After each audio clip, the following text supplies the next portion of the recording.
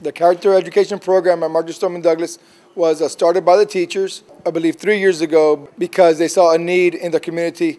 Uh, students that uh, were uh, former or alumnus of Marjory Stoneman Douglas uh, took what they uh, learned and things that they took to heart from their teachers and the school.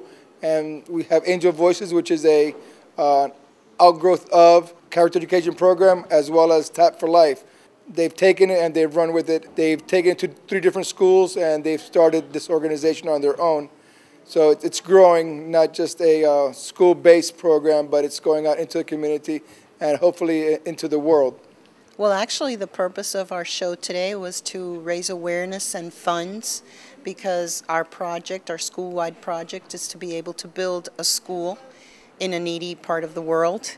And uh, so what better project than to have our children who are fortunate enough to have a wonderful school and a wonderful facility such as this be able to help and give back. You need to be the change you want to see in the world and so we feel that it is important for our children to nurture other children and the community also to come in and help. Bianca and I um, co-founded Tap for Life, which is a, an organization where we seek to aid the community through the performing arts. We wanted to, a way to make people happy and to help people donating money and we love to dance so we just wanted to join the two together.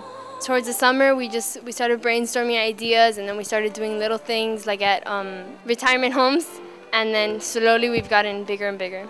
purpose of tonight's performance was to give money and to help um, children to build schools in Africa and in Haiti. What we did, um, we try to raise awareness for the, the students to give and help and have a sense of responsibility uh, to, to do things for people who are less fortunate than they are.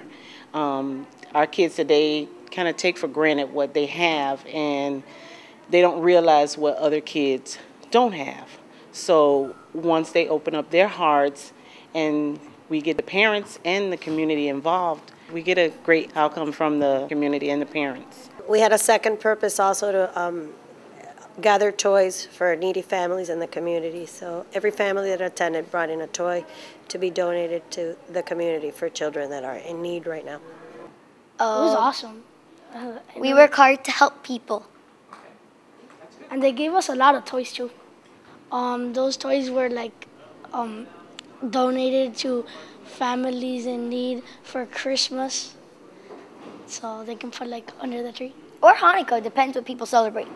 One of the key things are that we are recognizing the students. We're not giving it to another department and they're getting it. The boys and girls see that they are being recognized, that they are the ones that are doing the work, they are the ones that are uh, helping others. It's our boys and girls, you know, uh, minors that are making a difference.